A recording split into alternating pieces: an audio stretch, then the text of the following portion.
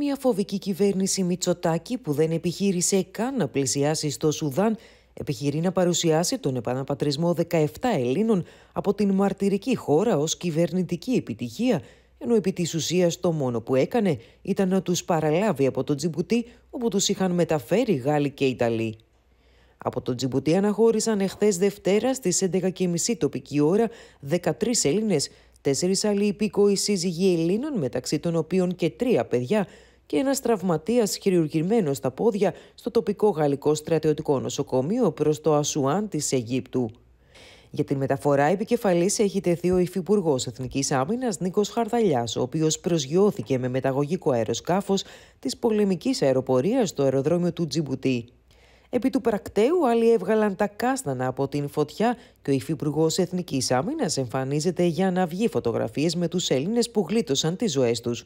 Εν τω μεταξύ, η παρουσία του δεν ήταν σημαντική για μία απλή μεταφορά, αλλά προφανώς για προεκλογικούς λόγους.